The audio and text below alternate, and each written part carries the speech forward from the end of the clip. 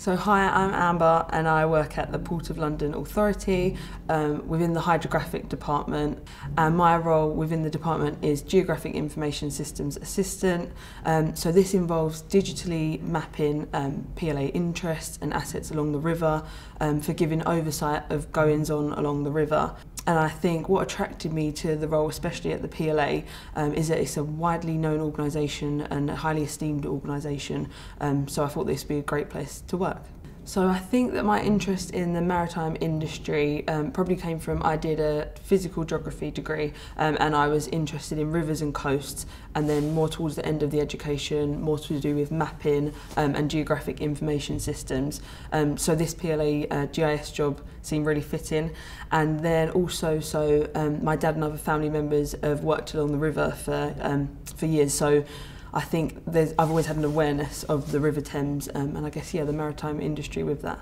What I'm most proud of in my career so far is uh, undertaking a master's degree which is specific to my role um, at the University College London so the PLA are supporting me with this um, and it's been really fitting to give me some wider knowledge to my role so I'd say I've not achieved it yet but I'm almost at the end of it and that would be my biggest achievement so far of my role. So, advice that I would give to um, women wanting to enter the maritime industry would be to go for it because there's a lot of support um, and networks for women. So, from the Women in Maritime um, support group to um, Women in the Water networking group. Um, and these are a place for like women to go and share their experiences um, and they can be really educational as well. And also, I would say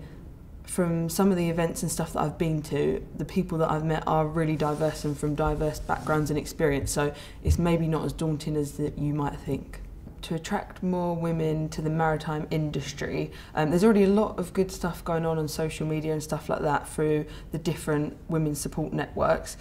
But I would say um, obviously more education um, at school and education level, um, wherever anyone is obviously learning or wanting to go into the maritime industry, um, I would say more knowledge um, and advertising of those support groups just so people know that they're there before going into the industry, um,